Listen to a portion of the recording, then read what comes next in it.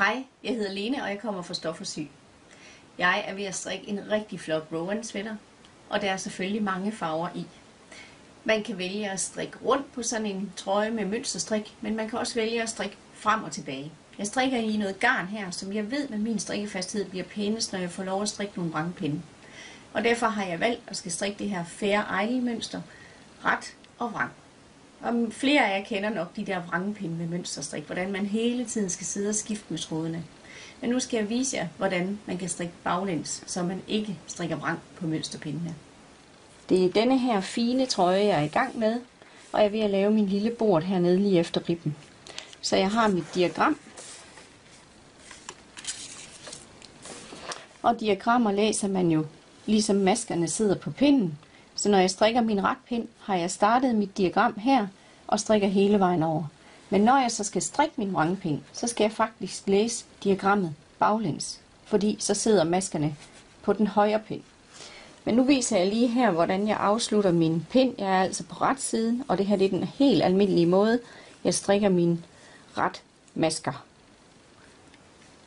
Hvor jeg har to tråde, og i det her tilfælde har jeg ikke mere end tre masker ad gangen, så jeg behøver ikke at lave noget trådskift. Tråden kan sagtens følge tre masker, uden den bliver for stram. Så det her er helt almindelig ret. Og jeg skifter mellem de farver, som mit diagram det fortæller mig. Sådan her. Så nu er jeg færdig med min retpind, og jeg skal til at starte på min vrangpind.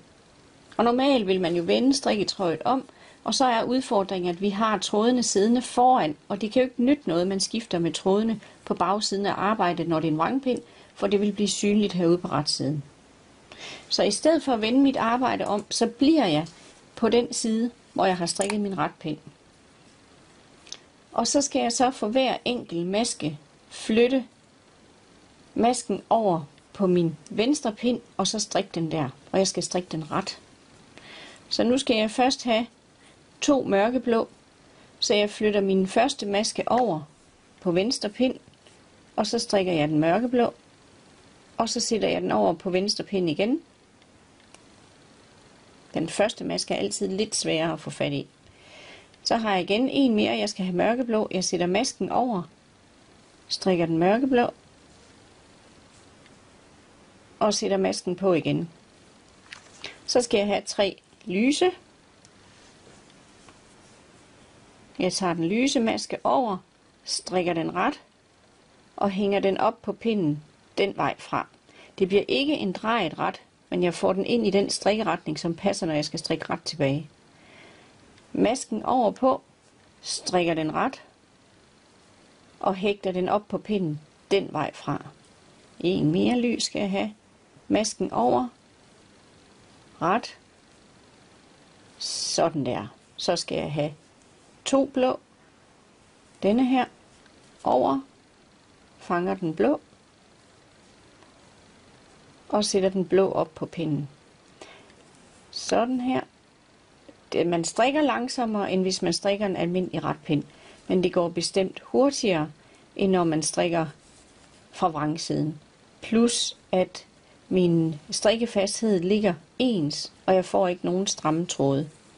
Det skal siges, når jeg strikker færre idle, som jeg gør her, så her, hvor jeg er startet på min mønsterpinde, der er jeg gået en kvart nummer op i pind, så jeg her har en 3, 3 kvart, hvor jeg ellers skulle strikke 3,5.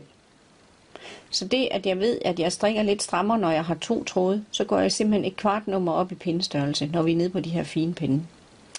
Så simpelthen kør videre med at flytte maskerne over maske for maske, og sætte den nye maske op på pinden. På den måde får vi strikket vrang baglæns, og det er bare overhovedet ikke vrang, det er faktisk bare ret. Det kan sagtens lade sig gøre, og man skal lige finde rytmen.